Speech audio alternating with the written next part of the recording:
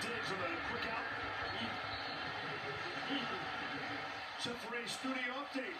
Here's Scott Van Pelt Hansen. Steve in Philadelphia, Jalen Hurts dials up the deep ball to Quez Watkins, a 53-yard touchdown. He's 10 for 10. The Eagles have two touchdowns. The Vikings don't have a first down. 14-0, Philly. Good job, Scotty. Keep us posted on what's going on. I can tell you this, Rock, here in Buffalo,